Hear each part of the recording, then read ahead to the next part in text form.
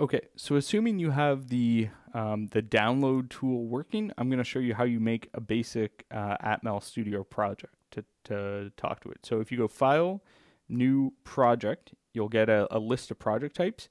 You need to make sure you select GCC C executable, not ASF, for example, um, which I think is the default. ASF is an Atmel Studio framework. It's got a bunch of libraries, and you have to define a board and stuff. We're trying to just talk to, to pretty low level here. So I'm going to call this test blink 3, for example, just a arbitrary name, and hit OK. The next thing it's going to do is ask me what device I want to use. Um, and I'm just going to search in the top right here for ATmega 328P. If you don't see the ATmega come up, by the way, um, when you install Atmel Studio, you have to select the 8-bit microcontrollers. If you didn't select that, you'll have to rerun the installer to get that. And where that device comes from, by the way, so this is the device that's on the microcontroller itself, or on the Nano itself. So if we look at the Nano, there's a bunch of chips on this thing, right? So the backside has like some USB, voltage regulator, as well as the actual microcontroller. Um, and if you were to zoom in and take a look at the microcontroller itself, it's a little hard to see, but there's a part number on that that says Mega 328P. Um, so you sometimes might have to change or check what the actual part number is to to make sure that it's um, you know, correct for your exact device. So right now, the the Mega 328 is the right one. So the first thing you should do um, is we get this base framework, and all we're going to do is we're going to take this framework and we're going to go build build solution.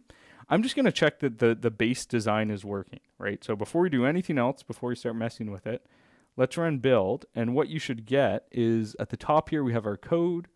Um, in the bottom, we'll have any warnings coming up here. I'm just going to collapse these together so that takes up less room. So we have an error list now. I just move them on top of each other. And any build information. So this is the output of the C compiler itself, and we can see it running through.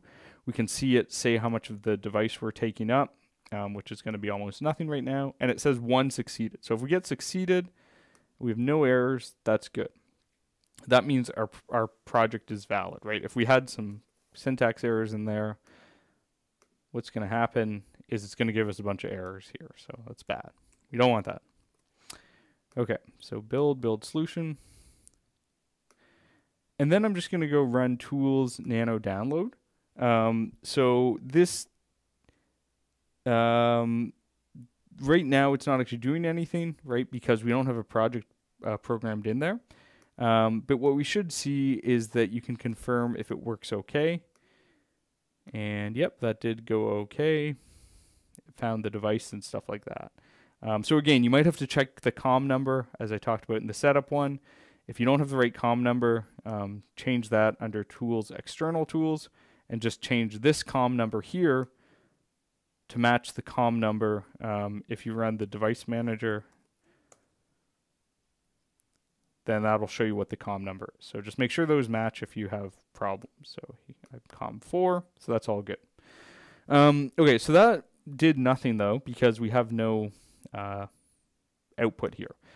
So the the first thing we need to do is we need to define one bit um, as an output and if I use this shift notation, one shift left five, this shifts bit uh, a one five bits over, um, which is basically going to build a variable that looks something like this, or actually like this. Right, so there's four zeros, five zeros, and then the one five over. So it takes that one, one, two, three, four, five places.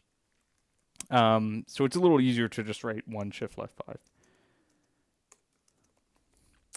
Uh, the next thing we're going to do is we need to toggle so that turned on the LED output driver. Um, and we could, for example, if we want to start simple, let's just turn the LED on.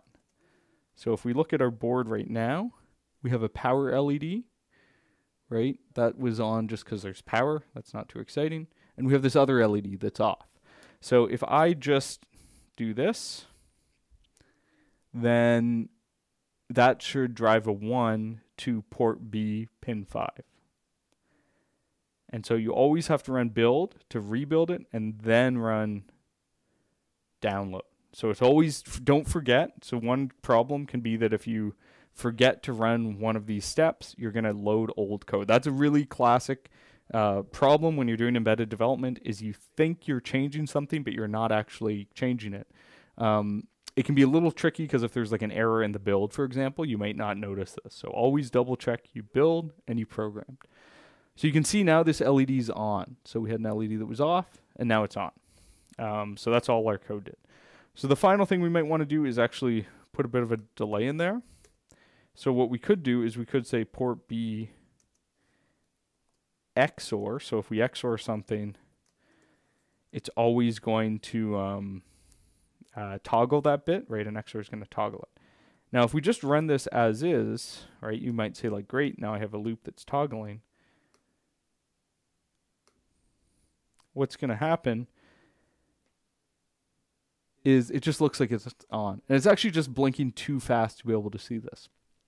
Um, I should also mention, so one other thing you, will notice um, is that when I do the download, so I'm going to run the download here, and you'll see the RX and TX LEDs blink. So that's a way to know the the download is working. So if I go Tools, Nano Download, it's very faint, but you'll see these LEDs blink a little bit. So that's during the download process. Um, okay, so back to the the code here. Um, what we need is we need a delay in here. So luckily, we have something called util slash delay.h. And we can, oops, just go underscore delay ms, uh, let's say 100 milliseconds. And so this will give me a 100 millisecond delay, roughly 100 milliseconds. This isn't a super accurate library. Um, and when I do this, you'll notice right away there's uh, there's an error already. So fCPU not defined. Uh, what's going on here is the library actually needs to know how fast our device is running.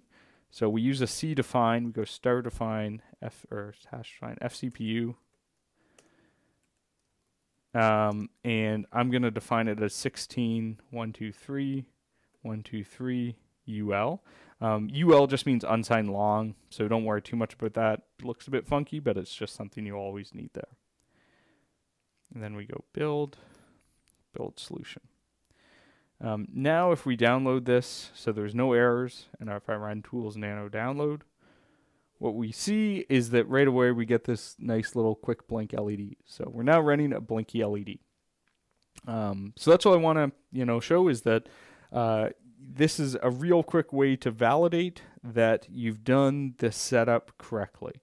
Um, from here, what you can do is you can do a little more advanced work with um, some of the the pin usage. So right now I'm clobbering all of these bits. Um, you'll notice I just assign it to one shift left five, which is fine because I'm not using them for anything else. Um, you also might want to make use of some of the macros. that are going to help you uh, understand this. But check out the next video on um, GPIO to understand a little more about what we're actually doing here, um, which should be helpful for the actual lab when you go to make a slightly more complicated program. But if you can get this Blinky guy running like this, then you know you validated almost everything. We've got a, a device that's talking to um, the computer here, you know, that's running Atmel Studio, um, and we can do the rest of the development on that.